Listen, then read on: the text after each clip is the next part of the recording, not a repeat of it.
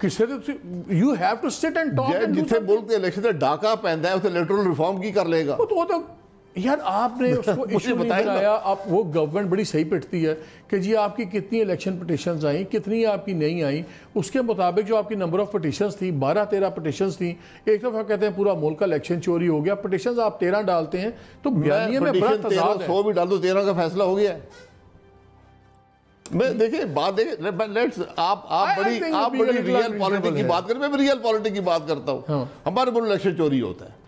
मैं ओपनली कहता हूँ चोरी होता है। तो जब आप, आप उस तो आप 2013 में आए आप इलेक्शन चोरी करके आए। सारे इलेक्शन चोरी होते हैं।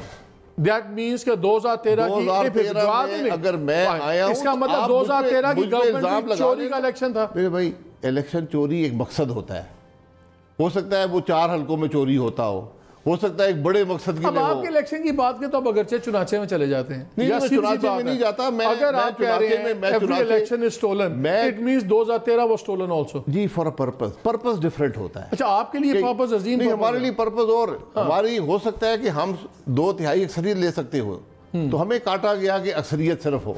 अच्छा। इस दफ़ा कोशिश की गई कि पीटीआई को पूरी अच्छा अक्सरियत दी जाए। आप इलेक्शन जीते तो आपकी जीत कम हुई। दूसरा जीते तो हारे हुए को जिताया है। मैं देखें मैं ये मैं ये कह रहा हूँ मैं इसीलिए देखें आपने अगर ये करना है ना एक ट्रुथ कमीशन बना दें। मैंने मैंने पचासी से लेकर आज तक हर इलेक्शन लड़ा है।